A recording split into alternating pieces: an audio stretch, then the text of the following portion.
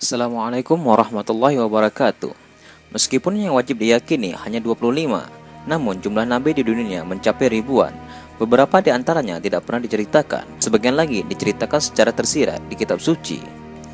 Cerita-cerita tentang nabi selalu menarik untuk disimak. Selain penuh inspirasi, kisah nabi juga selalu berhasil membuat kita semakin percaya akan kekuasaan Tuhan.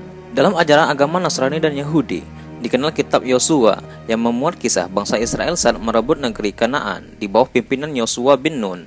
Yosua adalah nabi yang meneruskan ajaran Nabi Musa. Dalam bahasa Arab, Yosua lebih dikenal dengan nama Yusha. Namanya memang jarang dikenal dalam ajaran agama Islam karena tidak termasuk 25 nabi yang wajib diimani. Tapi bukan berarti ia tidak memiliki kisah menarik untuk diceritakan dan dikaitkan dengan sejarah keagamaan. Nabi Yusha dikenal dalam agama Yahudi, Nasrani, dan Islam. Dalam agama Yahudi, tentunya Yusha lebih diagungkan karena pernah menjadi pemimpin mereka. Sementara dalam agama Nasrani, Yusa yang juga dikenal karena beberapa kali disebut dalam Alkitab. Meskipun namanya tidak pernah disebutkan secara tersirat di dalam Al-Quran, agama Islam mengakui adanya Nabi Yusa.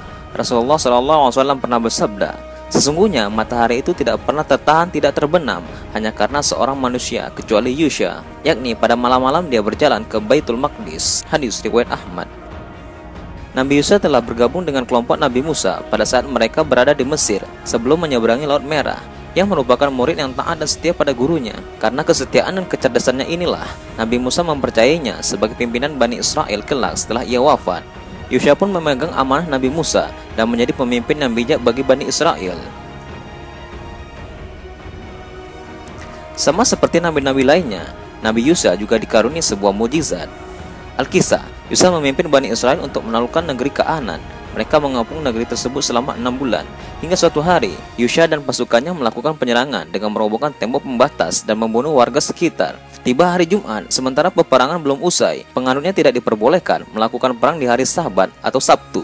Saat matahari hampir terbenam dan hari Sabtu hampir tiba, Yusa berseru kepada matahari, "Wahai matahari, sesungguhnya engkau hanya mengikuti perintah Allah Subhanahu wa taala.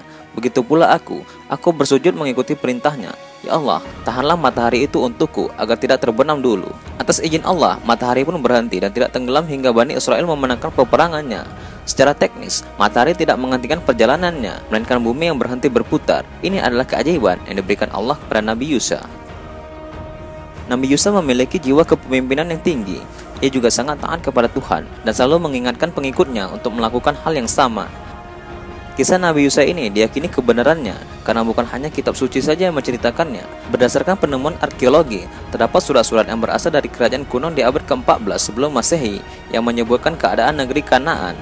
Kemungkinan surat tersebut menceritakan negeri Kanaan yang diduduki oleh Nabi Yusa.